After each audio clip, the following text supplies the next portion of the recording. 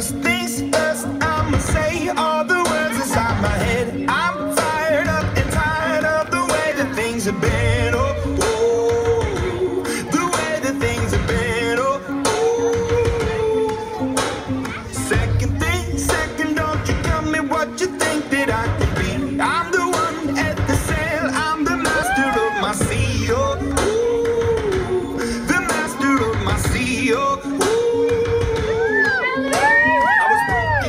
Taking my soak into the masses, writing my poems for the few that look at me, took to me, shook at me, feeling me, singing from heartache, from the pain, taking my message from the veins, speaking my lesson from the brain, seeing the beauty through. The